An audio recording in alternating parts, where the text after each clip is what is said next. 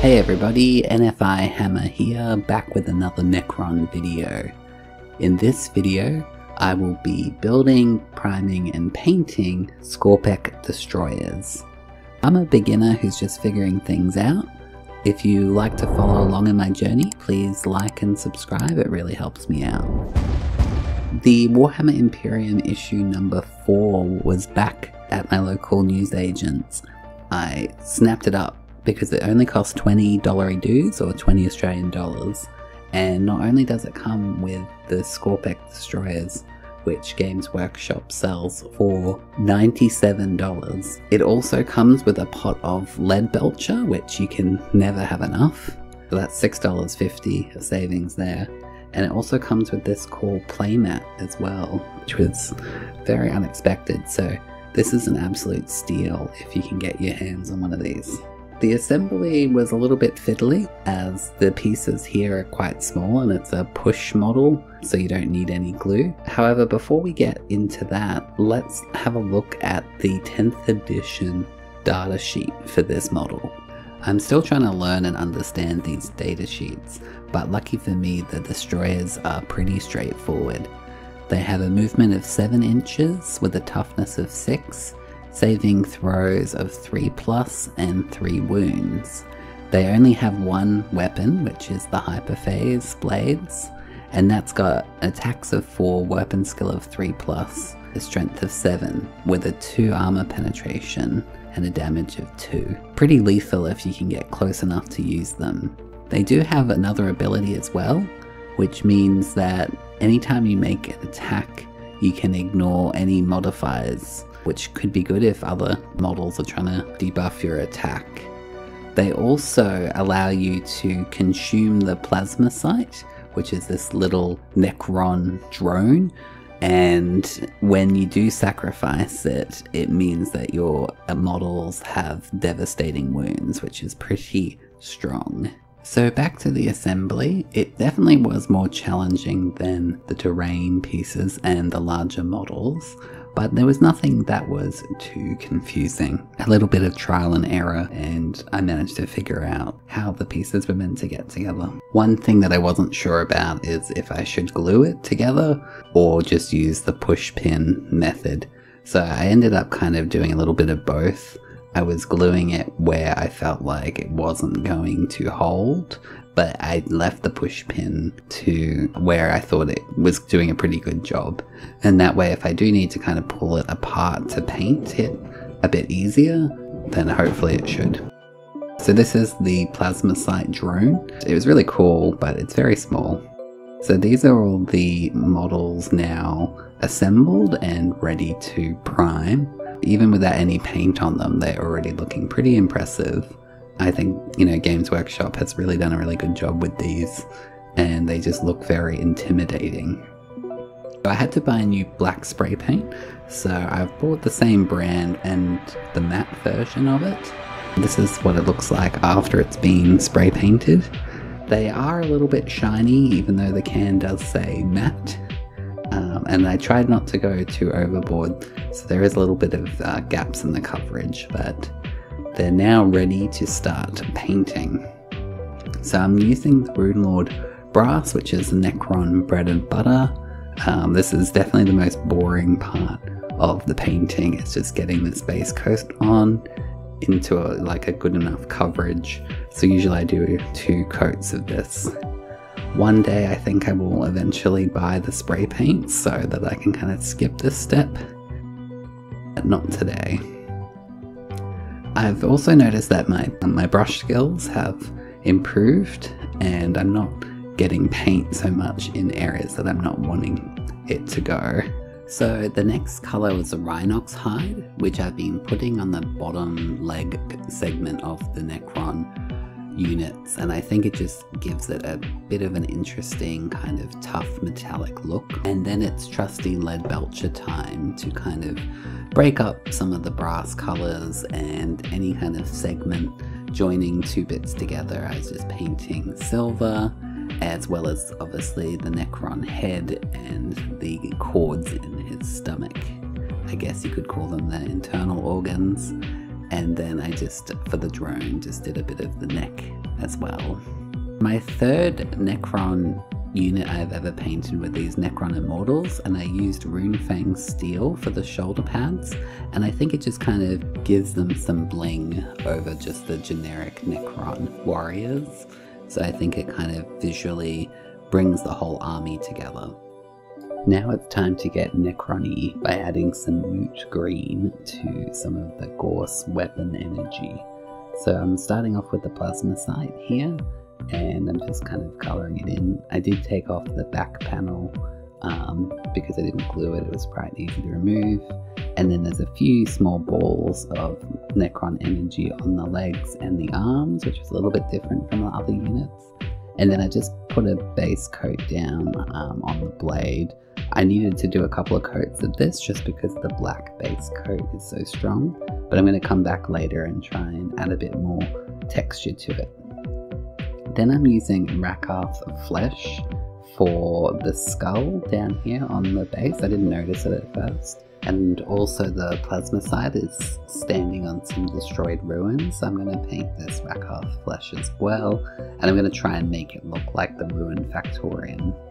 So I've got some Stormvermin fur here. I'm just painting the rocks on the base just to kind of give it a bit of a space moon kind of color to it trying not to get any on the model, but I think I did end up getting a little bit on the legs, but it's not very noticeable.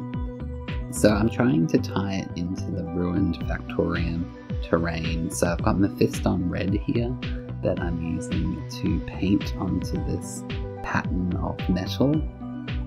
And I'm just trying to bring the two together so they look like a cohesive unit. And so to do that, I've got some Seraphim Sepia that I'm applying on the wall of the building as well, which was the same wash that I put on, just to kind of um, make it a little bit more interesting and to fall into the cracks and darken them out a little bit. So now I'm going to try some wet blending with some Corax White and Moot Green. And so I've not really successfully done any wet blending before, so I was kind of nervous about doing it on this model because I'm really liking how it's turning out so far. Um, so I've just put a little bit of white and then I put in moot green and then trying to shift the paint around. And I'm also trying to just stick to half of the blade at a time, so it's not really much area to work with. It's not looking that good, um, so I then switched to the Abaddon black and the moot green to try and do the other side of the blade to contrast it, the dark colors. This was maybe a little bit too dark. I don't have a darker green color, so I didn't have much choice. Um, but it kind of looked like a cool effect. I did think that the paint wasn't very well blended, and you can see that it doesn't look very clean, but I'm pretty happy with how it turned out. In the end, you can see here with the finished product that it does create some interesting color and a different dynamic that I hadn't ever put on any of the other Necron models that I've painted. So I was quite happy with it. It's definitely not the best, but for a first attempt, I'm pretty happy. So then I was going to apply some big rocks to the base because I haven't really done much basing recently. Um, so I've run out of my super glue, so I'm using PVA glue instead to try and attach the rock. Surprisingly, the rock managed to have a pretty good hold, so I didn't need super glue. So to finish the rest of the base, I'm using Astrogranite. So I've not used this before, but it came with my Paint Tools starter set that I got. And so I'm just using a paddle pop here to try and apply it, but I'm making a big mess everywhere and getting it on the model and getting it on the rim of the base. So I'm trying to use a paper towel to get it off, but it's not uh, working very well. And I got heaps over the rock here as well, which I was hoping to just kind of leave unpainted because there's no point painting a rock a rock color. But I got so much Astrogranite over it, I had to in the end go over it with Stormvermin Fur. So I'm just trying to create some interesting textures with the Astrogranite, but I really have no idea what I'm doing, but I'm just trying it out. I probably should have picked a smaller base to try it out, but it kind of had an okay finish in the end. I didn't really mind it. It was kind of going for the moon style terrain that I wanted. So I'm using Agrax Earthshade here just to try and pull uh, some darkness into the recesses and cracks of the Astrogranite. And this way I can kind of create a little bit more depth to the texture. And then, yeah, as I said before, I decided to paint the rock to kind of make it look less terrible with having bits of Astrogranite stuck onto it. Which I was hoping to kind of leave as is because it's a bit too much grey. And then because it is a lot of grey, I wanted to put some Genestealer purple, so I'm just trying to dry brush some onto the base here just to give it a little bit more of an alien world aesthetic. And I thought purple, I have a lot of different purple colours um, because I'm thinking of getting some Tyranids, but I also think it'll help contrast the green from the weapons. And this is a lighter purple called Dechala Lilac, so I'm just um, putting a really thin dry brush coat, just hoping to kind of capture the tops of the terrain just to give it a bit of a highlight. And so this is some alien turquoise 6mm grass that I've had for a long time, but I haven't really had an opportunity to use it. So I thought, you know, I'm really enjoying how these models are turning out, so I wanted to, you know, give it everything that I've got to see how good I can get them. So I'm just trying to put it near um, some of the rocks. In my mind, it's like the rocks kind of shield uh, the fauna from the harsh sun and conditions so life can grow. And then finally, I'm getting to the end, so I've got Retributor armor here, and I'm just trying to paint the sigil on the chest. And I did a horrible job and managed to get gold on the background, which is meant to be black to be similar to my other models, and so I had to come back later with Abaddon Black and fix it up, which is a shame. And then the weapons were still felt like they were missing something, so I got this phalanx yellow, and um, I was putting it over the just the edges of the weapons. This way, it kind of looks like they've got a sharp edge to it. I wasn't sure how this was going to turn out, um, and I also put it in the back of the weapon, which probably doesn't really make a lot of sense. But, you know, I wanted to kind of highlight it, and I thought this maybe was the, the best approach. I'm still not 100% sold on the finished product. Uh, let me know in the comments below if you think it would have been better just to kind of leave it as is, or it actually worked the way it did in my head. So the technical Ardcoat is just kind of like a gloss varnish. So I'm just applying that over to the weapon because the weapon has quite a matte finish to it. And for like a hyper phase, you know, laser sword, it doesn't really make a lot of sense to me to be matte. I wanted to kind of give it a glowing, shiny effect. So I'm kind of putting a quick, quite a thick coat over that, at least on the front side. And the goal here is that the light should reflect off it.